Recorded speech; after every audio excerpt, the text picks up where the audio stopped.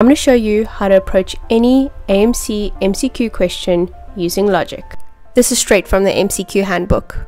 The question already gives us so many hints. It needs to be the most common or the most important, not the one you recognize first. End stage tells us that the condition needs to be something chronic that goes on long enough to progress to end stage.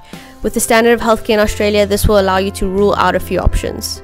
The answer needs to be a condition that affects adults, and it's in Australia, which is a first world healthcare setting. Now let's consider our options. A is diabetes mellitus, a tempting choice because diabetes is an obvious cause of kidney failure in most countries. However, it must be the most common cause in Australia, so other answers need to be considered as well. Also, they've written diabetes mellitus and not diabetes nephropathy, which seems silly to obsess about, but these people are so sneaky. Diabetes is such an obvious choice, so I'm going to say maybe, but I'm going to carefully review the other answers.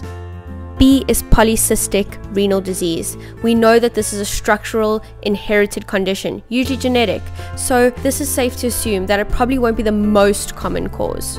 In general, acquired disease like diseases of lifestyle will always be more common, so I'd probably exclude this answer. Next, we have analgesic nephropathy.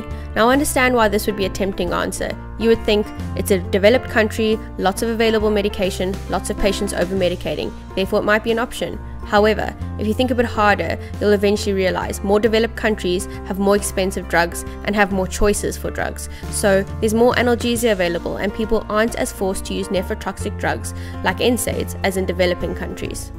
In most developed countries, analgesic nephropathy is on the decline, so it's safe to rule it out. Next, we have chronic glomerular nephritis. Now, this is an interesting one for a few reasons. The word chronic is a clue that it's been going on for a long time. That fits in with end stage renal failure. Glomerular nephritis is also a clear cause of end stage renal disease with multiple systemic conditions that would contribute to its pathology. And it includes many conditions that also include diabetic nephropathy, hypertensive renal disease, and other autoimmune conditions. So it's quite a broad term and would technically also be correct. This should definitely be a maybe. Next, we have reflux nephropathy. This is usually due to structural abnormalities seen in children, and in developed worlds, conditions like these can usually be treated or surgically corrected.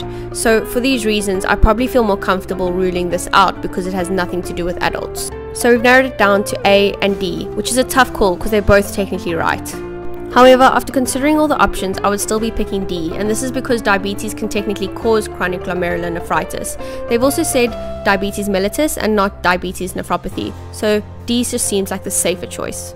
Thank you for watching and head over to our YouTube for more useful tips.